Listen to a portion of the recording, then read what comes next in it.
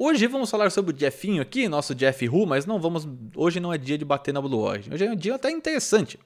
Porque parece que o William Shatner, quem não conhece o William Shatner, que é o famoso Capitão Kirk do, do, do Star Trek, tá? Ah, ele é o clássico, né? O Capitão Kirk. Ele vai voar, ao que tudo indica, com a Blue Origin. Quem falou essa notícia aqui é o TMZ, que é um site de fofoca mesmo, tá? Uh, e eles deram essa notícia falando que ele vai voar no próximo voo do New Shepard, que vai acontecer no mês de outubro. Ou seja, teremos ali um membro uh, da Enterprise indo num, num, num, foguete para chegar ali à borda do espaço. Seria muito bom se o Leonardo Nimoy, que é o famoso Spock, estivesse vivo para poder fazer essa viagem também. Infelizmente ele já, já faleceu. Ele é um amante do espaço e, e muitas coisas ele contribuiu na divulgação científica, né, na, na, coisas do espaço. Então seria muito bom se ele pudesse também, mas o William Shatner está aí.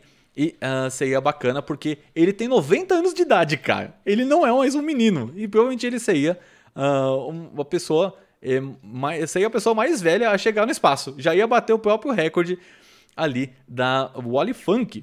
Então seria muito bom, eu torço para que dê certo mesmo. A gente vai aguardar a Blue Origin. Lembrando que a Blue Origin não é a melhor em comunicações, eles avisam tudo muito em cima da hora. Não se sabe quem vai voar no, com William Shatner. E o que tudo indica, parece que eles vão gravar um documentário. Um, não sei se é só dessa parte ou se uma, tem uma parte desse documentário que se passa ali, mas é toda uma história ali a respeito desse lançamento. É uma, uma coisa diferente, uma coisa bacana. Não se sabe qual é o preço desse, desse, lançamento, quanto foi cobrado. E, e, isso tem sido veiculado de forma muito incorreta na imprensa, dizendo que os, os assentos na Blue Origin custam na casa dos 20 milhões. Isso não é verdade. Isso foi um leilão beneficente que fizeram para o assento final do primeiro voo tripulado. Tá? Os, as passagens no New Shepard vão custar alguma coisa uh, em torno de uh, ah, 750 mil dólares, acima de 500 mil dólares, tá bom? É, é caro, é caro pra caramba, é uma baita de uma grana, tá? Não vamos também falar aqui que é barato, porque não é. Mas também não é na casa do milhão, tá certo? Um, então, isso vai ser bem interessante. Isso vai, lembrando, turismo espacial, seja ele suborbital ou orbital, ele é uma realidade, ele vai acontecer com frequência. A gente torce para não ter nenhum problema e que tenham aprendizados para que fique cada vez mais seguro. Mas as pessoas vão começar a testar isso e quem tem condição vai pagar porque é uma experiência que o dinheiro pode comprar.